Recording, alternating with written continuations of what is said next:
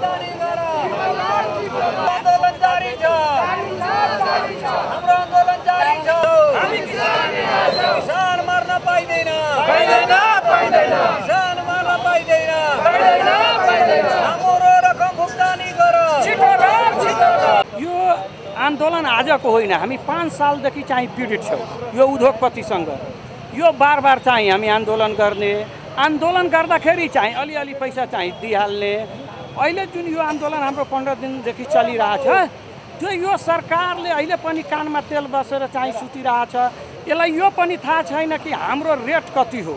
हाम्रो चाहिँ चार सय एकहत्तर रुपियाँ अठाइस पैसा पाउनेमा अहिले आजको डेटमा हिजो अस्ति पनि उद्योगपतिले हालिरहेछ भने चार सय पैँतिस रुपियाँ मात्र हालिरहेछ। यो छत्तिस रुपियाँ अठाइस पैसा कहाँ गयो? कसले एक गर्यो? यो कहाँ छ अहिले अख्तियार कहाँ छ? यसले चाहिँ लुटिरहेछ किसानलाई ठगिरहेछ चाहिँ यसलाई त तिहार लाग्नु पर्यो। जबकि हाम्रो चाहिँ रेट नै चार सय एकहत्तर रुपियाँ अठाइस पैसा हुनुपर्नेमा चाहिँ यसले चार सय पैँतिस रुपियाँ मात्र दिइरहेछ।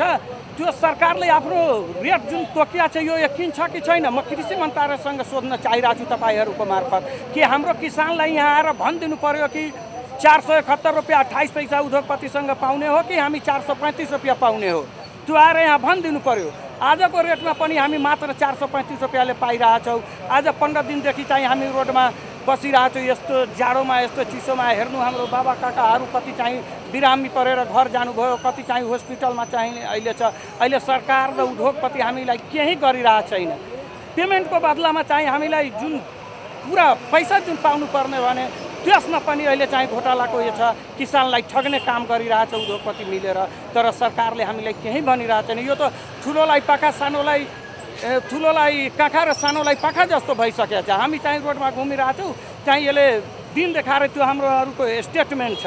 त्यसमा चाहिँ चार सरकारले भनिदिनु पऱ्यो कि चार सय एकहत्तर रुपियाँ तपाईँको रेट छैन। यस्तो नेट त सात सात वरिसको पैसा बाँकी छ। राकेश अग्रवाल कि यहाँ यो तपाईँको अन्नपूर्ण सुगर मिलको यो नेट हो। सात सात वरिसमा त कस्तो निमुखा किसानहरू छ हजुरहरूलाई पनि थाहै छ। किनभने यस्तो नेटै राखेको छैन। उहाँले त तपाईँले के भन्छ नेटैहरू आफ्नो कम्प्युटरमा एकाउन्टेन्टलाई लगाएर डिलिट गराइदिएछ। किनभने सबभन्दा तपाईँ मिडिया साथीको मार्फत सरकारको ध्यान आकर्षण होस्। यो कि सबभन्दा पहिलो यो अन्नपूर्ण चिनी मिलको जुन एकाउन्टेन्ट छ नि त्यसलाई समाउनु पर्यो। त्यसले समायो भने हिसाब फेर आउँछ सबै सत्य पनि आउँछ। अनि हामी आएको सत्र दिन भइसक्यो। हाम्रो आन्दोलनको यो पन्ध्र दिन हो।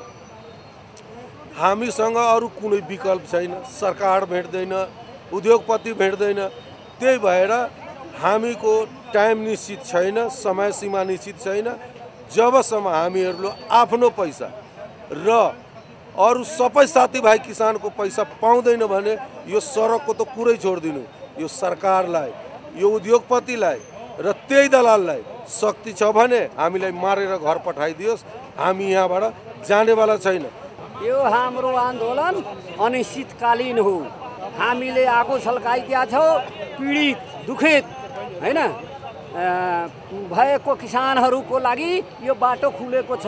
यो कहिले पनि रोक्दैन। जबसम्म यो अन्याय भइरहन्छ हाम्रो शोषण भइरहन्छ दोहन भइरहेछ हामी माथि अत्याचार भइरहन्छ तबसम्म यो आन्दोलन जारी रहन्छ। सबैको सबैभन्दा राम्रो। Ratopati dot com.